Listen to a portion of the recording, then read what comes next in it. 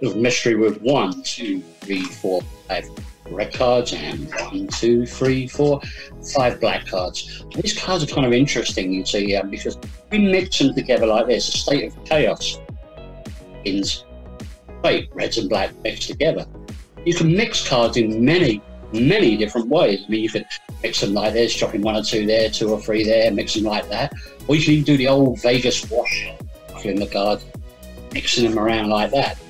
There's another way of mixing. It's called the randomizer mix. Uh, who uh, is a mathematician as well, invented, and it, uh, it goes like this: you can deal a single card, or you can mix a pair, you can swap a pair, deal single cards. It's a very, very thorough and fair way of mixing cards. In fact, Peter, we'll uh, we'll get you to mix them uh, at your end. You verbally will tell me what you want me to do: deal a single or mix a pair. Uh, mix a pair, please.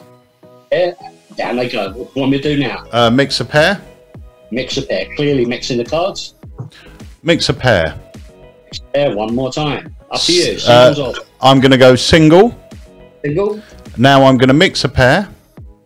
Three cards left. Now there's only one card left, so that will naturally go on top, covering everything. Yeah. Perfect.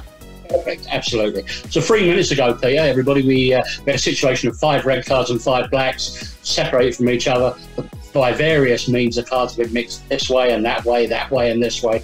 A complete chaotic mess. Red and black clearly mixed, but watch very carefully. It's like oil and water, you see, red and black cards. If I just cast a shadow over the cards like this, see that the black cards have magically mysteriously and hopefully entertainingly separated on the one, three, four, five. That is 10 card oil and water.